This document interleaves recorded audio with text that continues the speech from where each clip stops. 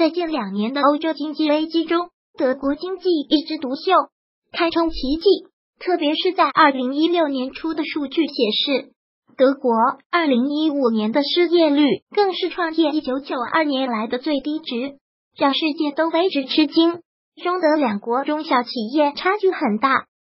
众所周知，在德国的经济发展中，机械制造业和汽车业是其两大支柱产业。令人意外的是，撑起德国制造业的竟是一大批中小企业，并且。德国的商业中，中小企业有着举足轻重的地位，约占企业总数百分之九十九的中小企业贡献了约百分之五十四的增加值，拉动了百分之六十二左右的就业。他们才称得上是德国工业和服务业的中坚力量。最为重要的是，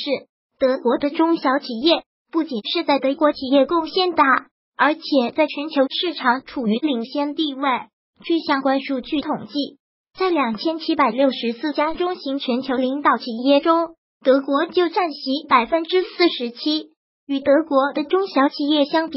国内中小企业却还在为生存发愁。数据显示，国内小微企业死亡率特别高，存活五年以上的企业不到百分之七，十年以上的企业不到百分之二，而且中国企业的平均寿命要短得多。中国民营企业平均寿命仅三点七年，中小企业平均寿命更是只有二点五年。德国中小企业称霸全球的五大特点，那么为什么这些企业具有如此强的国际竞争力？进一步的调查发现了这些企业在经营上的五个特点：以经营专业化与地域多元化相结合，这些企业均会投入全部的资源，确保自己在缝隙市场中。取得霸主的地位，他们认为多元化战略只会分散公司的精力。由于专业化程度高、规模小，因此他们无法获得规模经济。为了克服这个困难，他们积极开拓海外市场，让产品销售到全球。全球化带来的规模效应，足以让公司收回研发投入，并控制住成本。两只关注客户关注的东西。德国的这些中小型企业在竞争中，并非样样都求比对手强，他们集中资源，确保公司在顾客最关注的领域做的比对手强。多数企业认为，顾客最注重的是产品质量、公司贴近顾客的程度、服务是否节约、员工素质、技术领先性和创新能力。他们认为自己在前三项及产品质量。公司贴近顾客的程度和服务上的表现极其出色，而在其他四项中，他们认为自己的表现仅在平均水平之上而已。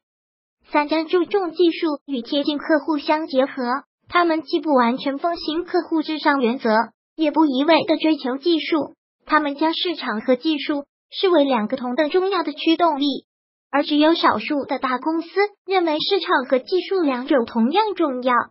这些企业认为，倘若技术主宰一切，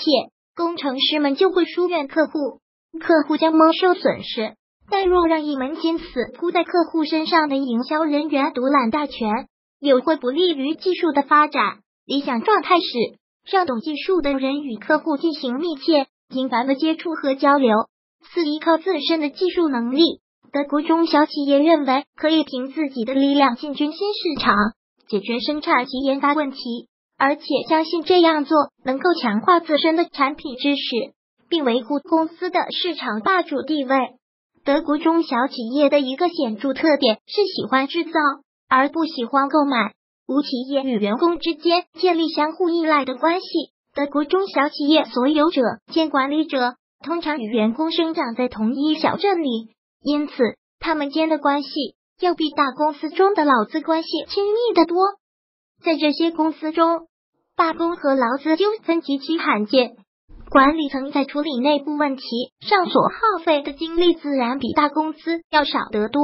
德国中小企业传奇背后的工匠精神，德国这种独特的中小企业传奇背后，与国家的职业教育体系、企业追求精神都有关系。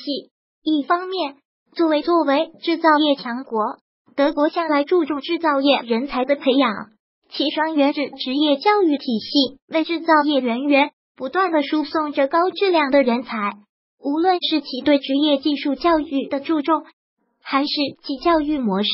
都值得思索。有学者曾描述曾参观过的一个工学院，德国斯图加特工程院院长带我去参观一个德国工学院大学一年级入学的学生，他们都在车间里面对着图纸做零件，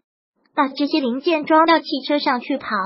跑完回来再评价多少分。经过这一轮，再开始学立体几何。理论力学、结构力学等学科，所以德国制造的汽车永远是无敌天下。我们可以对照一下国内工科教育，对比两者的差距。这种对实践的重视、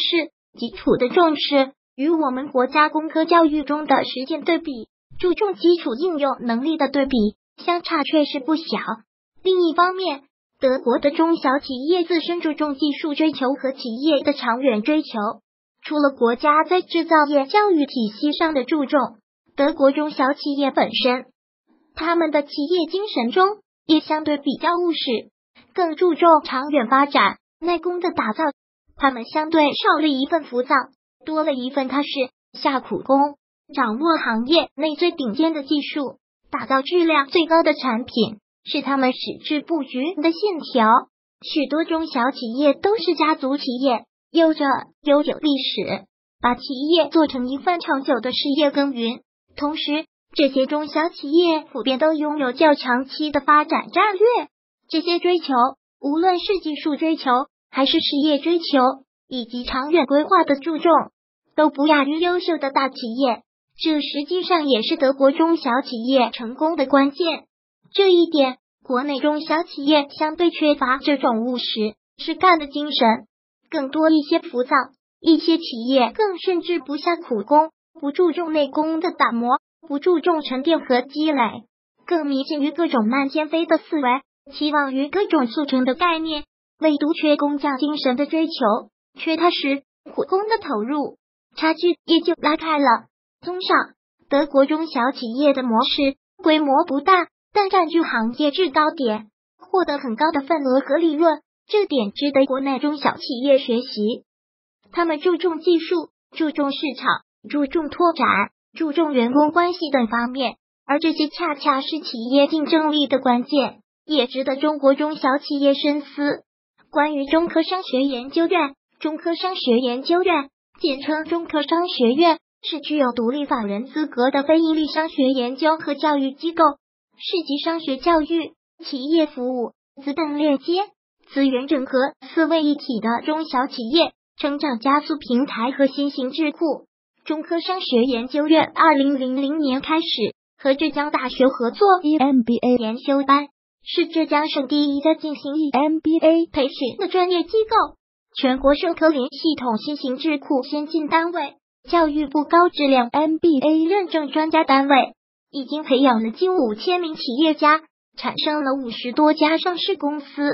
出版了十几本企业案例书籍，研究了大量企业发展课题，举办了近百次高层次论坛活动，服务了近一万家企业。中科品牌课程、新零售特训营、新营销特训营、新制造特训营、双创 EMBA 研修班、新经济精英董事长后 EMBA 研修班、白马企业上市加速营。如果喜欢本视频，请分享并订阅本频道，